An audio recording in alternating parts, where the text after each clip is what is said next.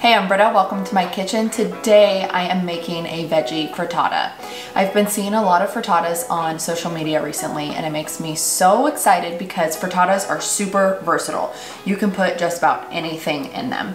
Um, the difference between a frittata and like a quiche, for example, is that a frittata doesn't have a crust. So it makes it even easier to make. Today I'm going to use some Swiss chard from the garden. I have some green onions, some kimchi to give it a little bit of like acidity and some punch um, because we're going to put some cream and goat cheese in the egg mixture. So that creaminess mixed with the fresh veg and the nice like acidic funky kimchi just makes an explosion of flavor. You can reheat it. It's an awesome dish to have for breakfast, lunch, and dinner. So let's make some frittata.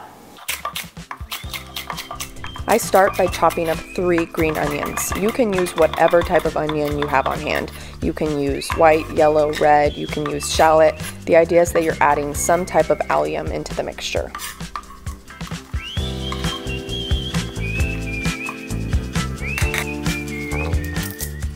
Now I'm just stripping the leaves from the stems of the chard. I'm going to chop up the stems and the leaves separately because the stems will take a little bit longer to cook than the leaves. I have a few leaves of kale hiding in here too that I needed to use up.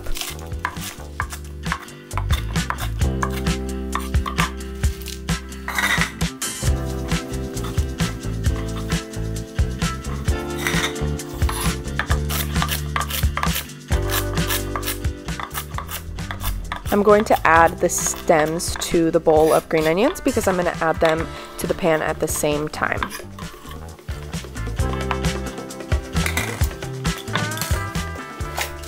Next, I chop up some kimchi. I eyeballed this, but it was probably between a half to two thirds of a cup of kimchi.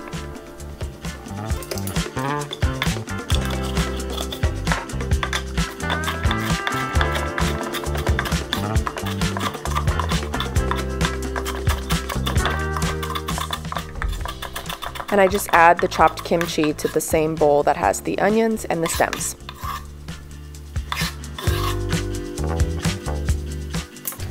I'm using a 12 inch cast iron skillet for this and I like to use 8 eggs for a 12 inch. It yields a thinner frittata that's really veg heavy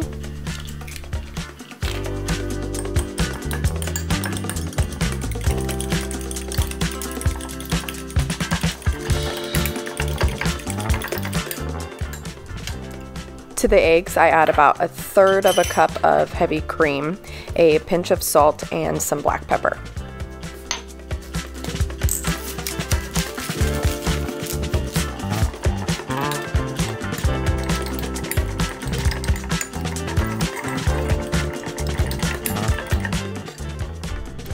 So before I ever add the egg mixture, I wanna make sure to cook my vegetables. So I add the green onions, the stems of the Swiss chard, and the kimchi to a pan that's about medium, medium high heat with some olive oil in it. And I'm just gonna get a nice saute on these. During this cooking process, I do add a little bit of salt in it, not too much though because I'm keeping in mind that the kimchi does have a decent amount of salt in it already. After the veggies have been sauteing for a few minutes and I start to see a little bit of color, I add the leaves into the mixture. And I'm just gonna cook this down until the leaves are nice and wilted and incorporated.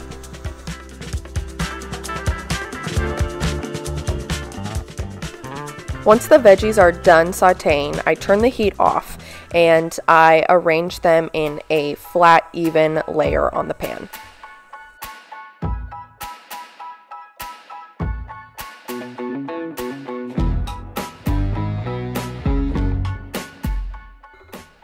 I pour the egg mixture over evenly, making sure that it gets distributed to the entire pan. I crumble the goat cheese over the top and I put in the oven at about 375 degrees. The cooking temperature varies a little bit. This one took me about 11 minutes. You just want to make sure that the center isn't jiggly anymore and that the egg is cooked through, but you don't want to cook it too much to where the top gets browned because then it's overcooked.